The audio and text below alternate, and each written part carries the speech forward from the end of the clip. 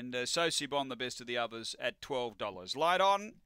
Race five, ready here at Angle Park. They're set to go. Ready to run.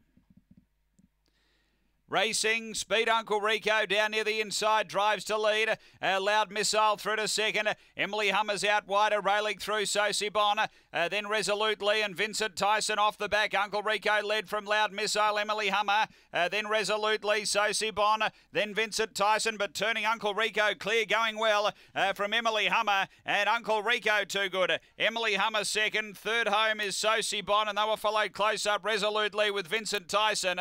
And then Loud Missile, the run here around 22 and 40. After the running of race five, too good here.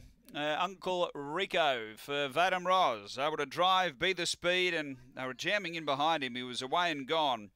And has got the prize here, two for two now, over the uh, short course here at Angle. Number one, Vadim Roz. Second, going to seven, which is Emily Hummer for Judy Hurley. And third to four, Sosie Bon, Marcello Calicchio. It's 1742 after race number five here at Angle Park.